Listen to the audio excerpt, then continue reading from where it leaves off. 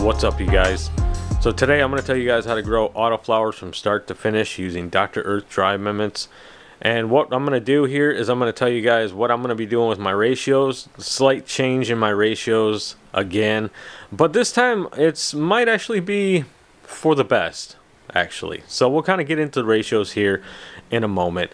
But anyways, I'm going to tell you guys how to grow autoflowers with Dr. Earth dry amendments from start to finish. And we're going to be mixing up the, the soil. I'm going to show you guys the equipment I'm going to be using. I'm going to let you guys know pretty much everything you guys need to go know to grow your autoflowers start to finish. When to top dress, what to water, pretty much everything. So let's go ahead and start it off with the dry amendments themselves. So right here we got the vegetable mix. This is where your plant gets the calcium from. This is the all-purpose. This is where your plant gets the everything from. This is your bloom. This is where your plant gets mainly the phosphorus from. Okay, blood or bud and bloom booster tough to say real fast. Anyways, that's all three that we're going to be using of the Dr. Earth dry amendments. Now, I have two containers over here. That's what I'm going to be using to mix just to make sure everything's all exactly as it should be as I'm mixing up the soil and measuring out exactly the amount of dry amendments that we need. Now the amount of dry amendments that we need for pretty much anything when it comes to Dr. Earth, you need two tablespoons per gallon. Top dressing or amending the soil doesn't matter. Now here we're amending the soil. What we're doing is we're building a life for our autoflowers. So our autoflowers are all set and ready to go. Now when the autoflowers come up out of the soil, they're pretty much on a timer. They're going to go and they're going to flower when they want to flower and they're going to finish when they want to finish and there's really not much you can do to, interfere with that or change that. That's the beautiful part about autoflowers. They're pretty much just they come up and it's just game on go from there uh, and you want to make sure that your plants are satisfied and happy and ha that they have all the nutrients that they possibly need in the soil waiting for them uh, so when they're ready to uptake it they can uptake it and they can just continue on growing without any interference or any anything. They don't want to wait for their nutrients and they don't want to wait for you to figure things out. So with Dr. Earth, it pretty much takes all the guesswork out of it. So the ratios are going to change for the Dr. Earth a little bit different from what you guys are used to. Now, I'm sure some of you guys know of my ratios now. Um, I really haven't been adding any all-purpose in a really long time. It's been quite a few grow grows. Um, so, like I said, the ratios are going to change. I'm kind of going old school. Now, I've been reminiscing lately, kind of reminiscing back, you know, it's been over three years here on YouTube, and kind of going back to my old ratios. Now that Dr. Earth has increased the calcium level here in their vegetable back up again, it kind of made me think maybe I should start trying some of my old ratios again and run with them for a little while. Um, so lately I've been out just searching for different ratios and you know that's what any grower does you know I've been trying different ratios and lately it's pretty much eliminated all purpose. Now this new ratio is going to kind of shock you guys a little bit. So what we're going to do is we're going to do two different ratios and two different runs. Now we're going to do uh, all completely different strains or all completely same strains I'm, I'm sorry they're going to be the same strains two of them are going to be the same strains. So we're going to have four plants but two of the two of the same strains. You get that? So two plants, one strain, two plants, another strain. Uh, so that's what we're going to do, different ratios. We're going to kind of test things out just a little bit. We're not doing like old school, new school ratio type thing. I thought about that. We're not going to do that. I think what we're going to go ahead and do is kind of of my old school ratio and my brand new 2022 let's try this out ratio. Yeah, I guess that's a good way to put it. So that's what we're going to do. We're going to do two plants with one ratio and two plants with the other ratio, and they're going to be the same strains so we can kind of monitor each, them and see how they grow, see how they look. They're all from the same breeder, uh, out of the same seed pack, so yeah, kind of a little science experiment. We're going to play around, play around a little bit. So let's talk about the ratios here.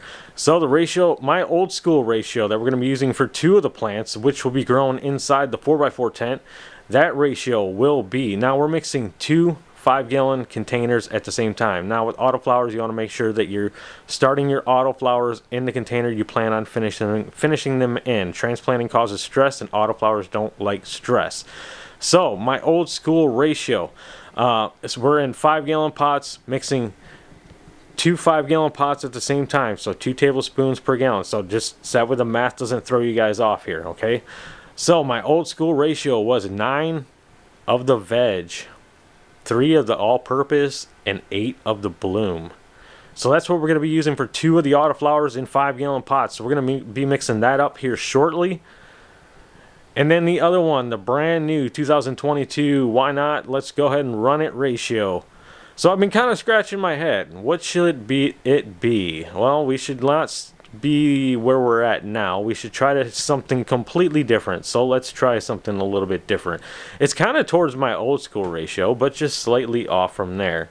So what we're going to be using is 8 of the veg, 5 of the all-purpose, and 7 of the bloom. Yeah. So we're going to try that out, see how that goes. The, for two more autoflowers. So we're going to be growing those ones in the 3x3 tent. So I'm like I said, I'll be showing you guys the equipment here shortly. Uh, so two of them in the 3x3 tent and two of them in the 4x4 tent under a different ratio. We'll keep them tagged so we know which ones are which. When it comes to final top dressing, uh, you know, we'll have to see how it goes, if they're flowering or not. We'll have to see when we get there. Um, it all really depends on the auto flower. Now, sometimes they start flowering between week three, week four. If so, if you're more like towards week four, then you're going to top dress at day 21. You always want to top dress at week three or day 21. So we would top dress at day 21, and then we would top dress again at day 42, and then that would be their final top dressing. That's if they're still vegging out at week four. But if they're already flowering by week three, week four, if they're already in the flowering, your final top dressing is at day 21, and that's it. So your final top dressing with Dr. Earth, the beautiful part is it can be any ratio you want it to be. It really doesn't matter. You just got to make sure one thing. They still got that calcium and they got that phosphorus. When it comes to autoflowers, that's pretty much the only two things that they really demand the most.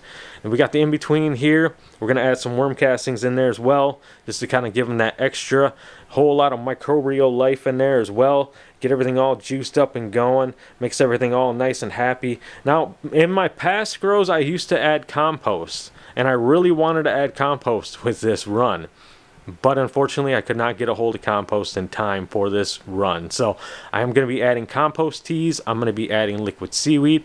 I'm also going to be adding molasses every about week to two weeks or so. I'm going to be kind of interchanging in between and then I'm going to be watering in between with water from the tap, dechlorinated tap water, pH between 6.4 and 6.7. Now let's go ahead and talk about the soil here real quick. So the soil that we're going to be using is Royal Gold 2 Now this is a pretty much blank slate type soil. There's nothing in it except cocoa, perlite, and aged forest materials. There's no nutrients whatsoever in it at all for, for the plant. That's why we're building the soil, building the base, building life for our soil so the plant can uptake it when it wants, when it needs it. So that's what we're doing. We're building our soil for the plant. We're taking care of the soil, the plant's taking care of itself after that pretty much.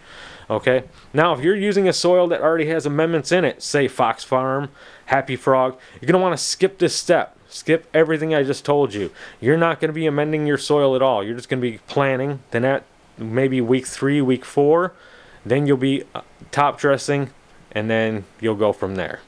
And that's it. So in our case here, like I said, we're building it up. There's nothing in here at all. It's plain. It's as plain as, they, as it comes. Uh, so we're going to be adding the Dr. Earth amendments into it along with some worm castings and the ratio that I just told you guys. Let's go ahead and get started. So inside the tote here I have nine and a half of the Royal Gold Tupur, nine and a half gallons. And to that, I'm going to add in my worm castings, about a half a gallon of worm castings. So I'm adding approximately about a quarter of a gallon of worm castings. So roughly about a cup, cup and a half or so, give or take, of worm castings for each pot is what each pot is getting. So about nine and a half Royal Gold Tupur, and then about a half a gallon of worm castings.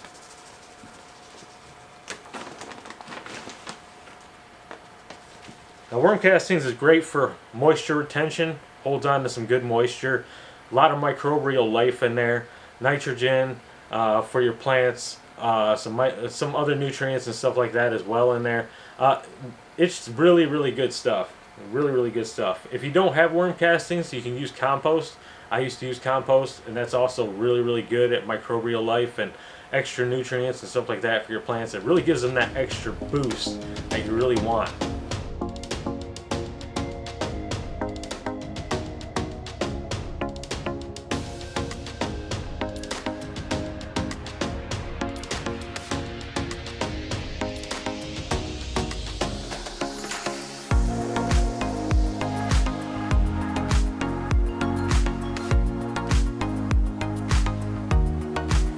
When mixing dry amendments, you want to make sure that you mix them thoroughly. You don't want you want to make sure you avoid any hot spots. And hot spots, what I mean by that is too much nutrients in one spot because it can burn the roots and hurt your plant. Uh, and with autoflowers, like I said, you want to avoid stress at all costs with autoflowers. They're on a timer. They're going to start and they're going to finish when they want to.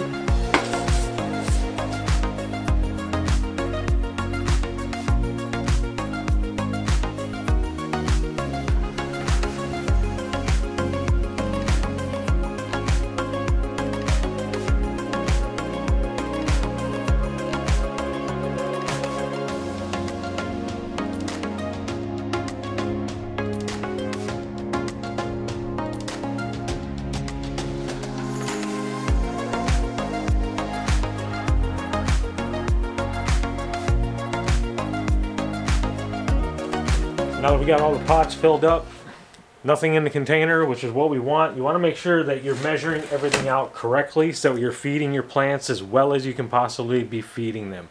Okay? So now that we got these two mixed up and set to the side, now remember this is our old school ratio here. Now we're going to do the newer type of ratio. I'm going to go ahead and mix that one up and then I'm going to let you guys know what type of strains we're going to be running.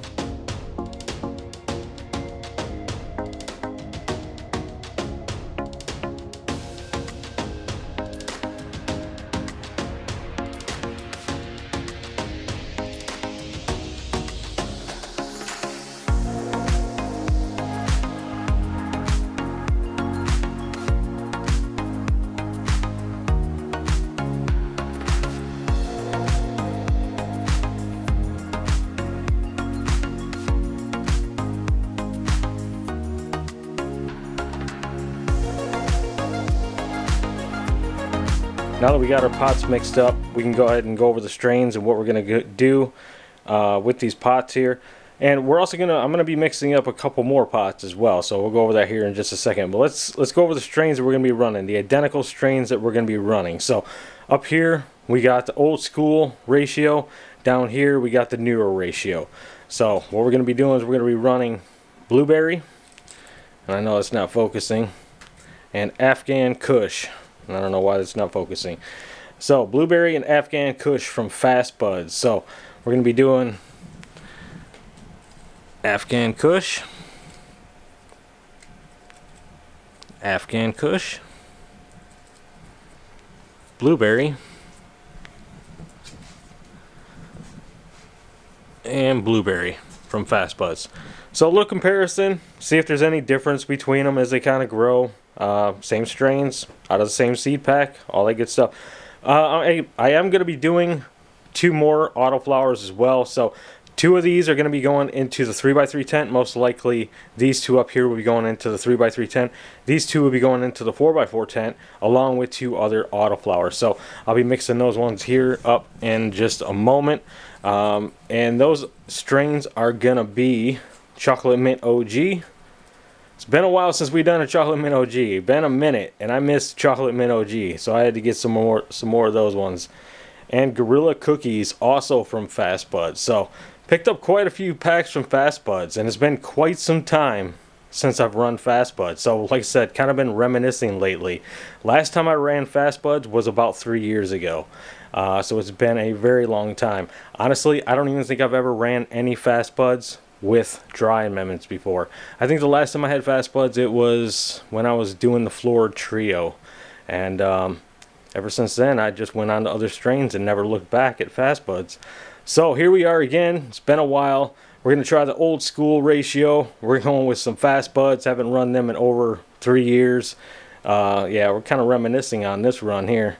But alright you guys, let me go ahead and I'm going to get the other two pots mixed up for the 4x4 tent. Then we're going to go inside, get these pots set up in there, and then we're going to go over the equipment that we're going to be using to grow these autoflowers.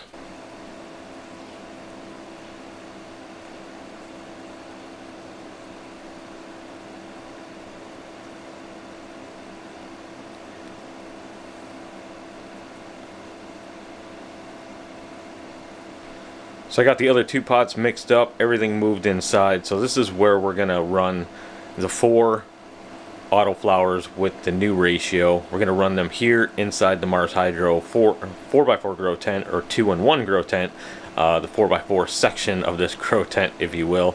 Uh, this is where we're going to do the newer run of autoflowers. So here are the four. So we got the strains there, we got the blueberry there, Afghan there from Fast Buds, Gorilla Cookies there from Fast Buds, and then Chocolate Mint OG back there.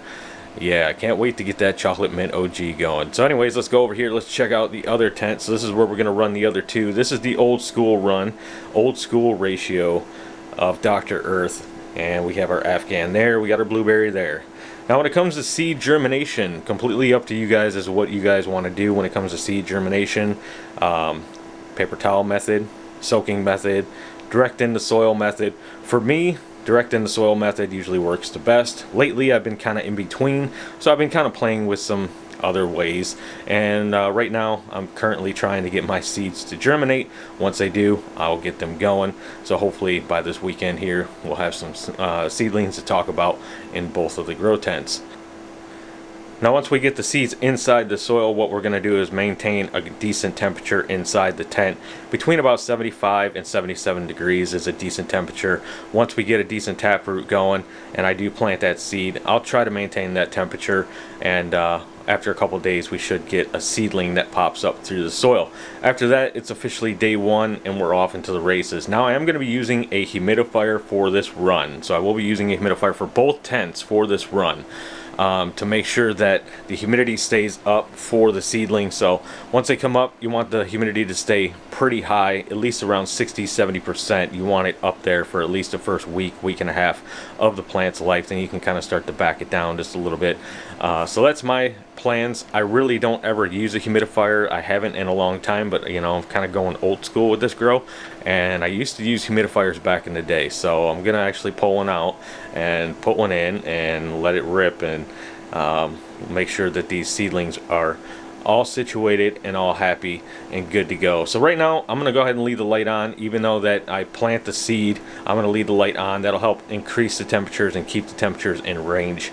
Uh, even though there's no seedling I'll still run the tent as is. So the light schedule that we're going to be running for these autoflowers 20 hours on 4 hours off. Exact same one exact same thing for the other tent over here the 4x4 tent we're going to do uh, 20 hours on and 4 hours off so let's go over the equipment that we're going to be using for this run. So for the two old school autoflowers, we're going to be using the Mars Hydro 3x3 grow tent. This grow tent here measures in at about 39 by 39 inches.